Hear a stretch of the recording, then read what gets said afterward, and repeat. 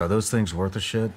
Yeah, some of them are, some of them aren't. Um, some of them are worth more than others. Uh, but yeah, yeah, it's. I would recommend using a password manager for anything that you're storing your passwords with. What is your number one ranked password manager? Uh, one ever- 1Password. one password. Yeah, the the numerical one and then password. I would Okay. recommend. Is that the only one that's worth a damn?